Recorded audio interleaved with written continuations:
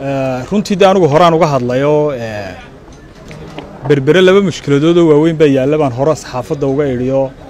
Waa laydhka iyo ninka maayarka ka ah. Mushkilad kaloo weyn oo berbere taalla. Ma jirto reer berberena way ogyihiin waxaan doonayaa inaan ku horreeyo laydhka laydhka mushkiladaha ay ku hayaan shirkadda laydhka maamushaa bulshada reer berbere guud ahaan. Mid dan yara iyo mid kaleba dhibtay ku hayaan. Halkan haddii aan qodobo ka mida idinka sheego waxaa ka mida qiimaha laydhka imika waxay sii wadaan zero point forty nine dollar halkii unit. Markii ay la wareegeen maamulka laydhkana dowladdii hore ee siilaanya waxay heshiis kula galeen inay laydhka ka dhigayaan zero point tree iyo wax ka jaban halkii unit. Heshiiska annagu maanaan arag golihii deegaankii horena waan ku jiray laakiin iyagaa boodh weyn oo ay reer berberoo dhammi xasuustaan. Warshadda horteeda ku soo dhejiyey. Labadii kun iyo shan iyo tobankii bay la wareegeen. Labada kun iyo sagaal iyo tobanka inay bointy tree ka dhigayaan. Ayay boodhkaa ku soo qoreen. Social mediana uu ku jiraa reer berberena way xasuusan yihiin. La wareegitaankii maamulka laydhka ay la wareegeen haddii ay ka baxeen kontraaggii ay galeen ee qiimaha laydhka heshiiskaasi wuu buray. Waxba kama jiraan weeye heshiiskaa iminka. Warshaddana si xaaraana bay iminka u maamulayaan. Dhibaatooyinka kale ay ku hayaan waxaa ka mida tayaxumada laydhka. Laydhka berbero tayadiisu aad u liidato. Waxaa ka mida tegitaan uu laydhku saacaddu doono iska tegayo intuu doonana uu bakhtiisnaanayo.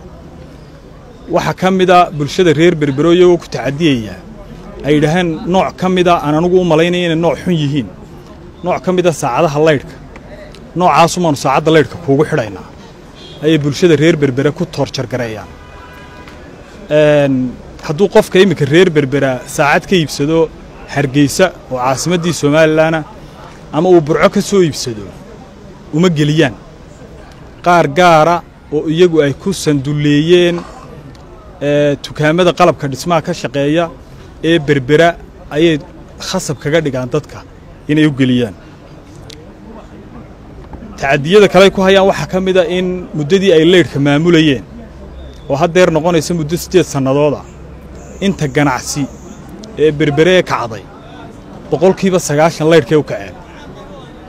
Markuu qofku dukaan yar furto ee marawaxad yar iyo waxoogaa laydhi ugu jiraan tallaagad yarna uu isticmaalayo ee shan boqoloo dollar lagu soo dalca ama afar boqoloo dollar iskama bixin kara meheraddaasi waa inay xidhanto ganacsi cusuba magaaladii ku soo kordhayaana ma jiro. Intii hore ee magaalada ka jirtay way xidhantay badankoodii inta kalena lagu adag kuma taagnaa tacaddiga kale ay ku hayaan bulshada reer berbera waxaa ka mid a waa magaalo ganacsi shaqo badan baa ka socota baabuur baa jiidha kaabadaha laydhka oo shilalbaa ka dhaca. Kaabad laydh buu baabuur ku dhacayaa baabuurkaa way xidhayaan oo waa loo xidhayaa. Rasiidh bay waxay ku soo goosanayaan kun iyo shan boqoloo dollar ama laba kunoo dollar ama kun dollar inuu gaadhigaasi bixiyo. Ilaa uu bixiyana wuu xidhnaanaya caqligalla maaha. Kaabad boqol dollar ama laba boqoloo dollar lagu hagaajinayo lagu samaynayo. Inay qof muwaadina oo reer berberaa ama reer somalilan ay yidhaahdaan lacagta intaa leg ilaa na looga qaado wuu noo xidhnaanaya. Waa mid ka mida tacadiyada ugu waaweyn ay dadka ku hayaan. Waxaa ka mida xadhkaha laydhka oo iyaguna riski ku haya magaalada oo dhan oo liita. Maalindhooda waxaa markhaati ka haydeen dhammaantiin ama inta badan bulshada reer berbere iyo dee social mediaha nimka laga wada socdaaba. Xadhka laydhoo sidaa isugu dhacayoo gubanaya berbera. Dhammaan xadhku way liitaan. Masiibadii ka dhacday suuqa waaheenna waynu xasuusannahay markaa magaalada berbera shirkaddaa iminka laydhka maamushaa riskigaasay ku haysaa oo cabsi weyn nagu hayaa waxaa ka mid a shirkaddaa laydhka maamushaa maalindhood waxaa loo gudbiyey xeer ilaalinta gobolka saaxil. Lacagtii ay u qabanayeen dowladda dhexe wasaaradda maaliyadda ee rifanyuuga ee salis tagaskii ayay cuneen. Oo intaasoo sannadood iminka aanay bixinin oo bil kasta dhowr iyo toban kun oo dollar iyo dhowr iyo labaatan kun oo dollara.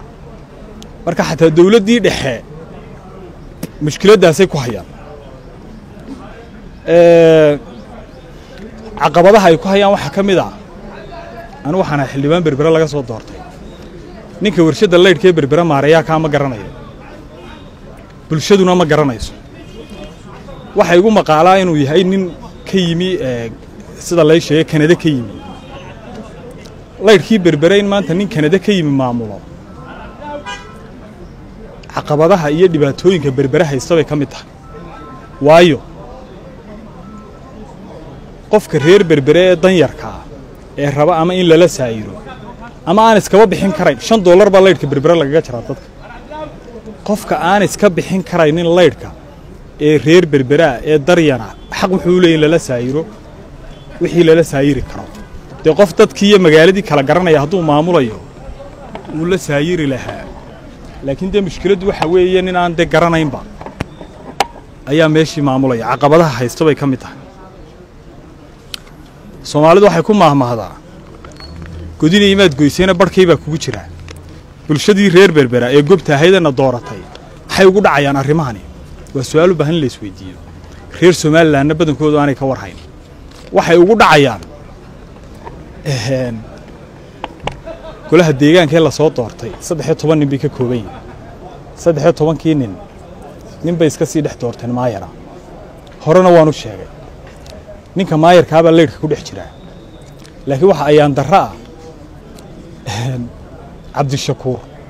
Isagoo cabdalla sandheere maayara ayuu isagoo tacaddi shakhsiyana tirsanaya isagu mid isaga u gaara tirsanaya ayuu qori la galay. Laydhka magaalada uu ka bakhtiyey maantana bulshada reer berberee boqolaalka kuna buu dulmiyayaa oo uu kursigaa uu ku fadhiya ummadda ka dhexeeyuu ku dulmiyayaa golaha deegaanka dhexdiisa waxaan ku weydiiyey in xan suuqa ku jirta ay sheegayso inuu ka yahay sheerholder inuu laydhka berbere ka yahay.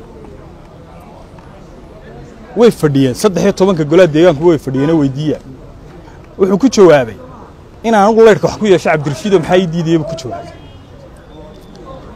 War magaaladii imika mamaayar baa xukuma bal reer berbere ha is weydiiyaan mise sheerholder shirkadda laydhka ee berbere ka mida baa maamulaya waa wax caqliga bini aadamku aanu qaadi karayn. Dee waxa maamulaya saamiley ka mida warshadda laydhka. Haddaanu cabdishakuur shirkadda laydhka sheer ka ahayn bulshada reer berbero dham way ku xamanaysaa golahaanu ku dhex weydiina ha hadloo ha caddeeya inaanu wax ku lahayn dee. Laakiin anugu noloshayda oo dhan laydh baan ka shaqaynaayey ilaa koob iyo sagaashankii baan ka shaqaynaayey dee adeer bulshada reer berbere danu maaha ilaa koob iyo sagaashankii dad ka shaqaynaysa dee laydhkaagii tag oo kursigan ummadda ka dhexeeya dee u bannee. Conflict of interest baa la ydhaha waa aqoon caalamiyo adduunka o dham isku waafaqsan yahay. Halkanaan maamu waxyaabaha yaab kale berbere ka socda. Mey labadii kun iyo labaiyo labaatankii dawladda hoosee berbera lacag shan boqoloo kunoo dollara ama haaf milyan dollar bay leydhka ku kabaysaa baa layidhi conflict of interest macnihiisu waxa weeye qof jeebkiisan intuu lacag ka soo saaro jeebkiisan kale isagu uu leeyuu gelinayo weeyaan macnaheedu markaa iminkana dadkan cabanayey waxa loogu kulaylinayaa ee loo dhibayaa meydii bay gaadhay labadii kun iyo saddexiyo labaatankii oo shantii boqoloo kun oo dollar baa la doonaya. Ee hantida ummadda lagu boobaya laydhkaa la doonaya. Anigu saasaan u arkaa xalku haddaba waa maxay? Haddii aan dhaliilihii tiriyey iyo mushkiladaha laydhka yaalla xalka anugu waxaan u arkaa laba qodob oo keliya.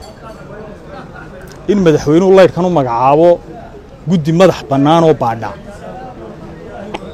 oo aan badha saabka iyo maayarka iyo dadkan dawladda u shaqaynaya aan ahayn inuu u magacaabo oo caqabaddan berbera madaxweynuhu saddexdii jeeree ugu dambeeyey uu berbere safarka ku tegey bulshada reer berbere oo dhammi rag iyo dumar iyo caaqil iyo mid yar iyo mid weyn laydhkaasunbay ka cabanayaan.